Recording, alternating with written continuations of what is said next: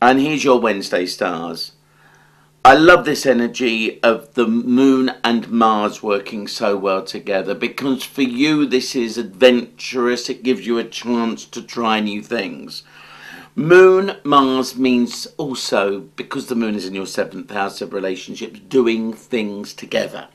You know, you're much better off if you complement someone else, your ideas, your brain power, the way they do things.